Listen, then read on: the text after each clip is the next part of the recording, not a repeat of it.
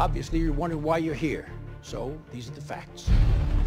At 1900 local time yesterday, SOCCENT Forward Operations Base in Qatar was attacked. So far as we know, there were no survivors. The objective of the attack was to hack our military network. We're not sure exactly what they're after. And the only real lead we have so far is this sound.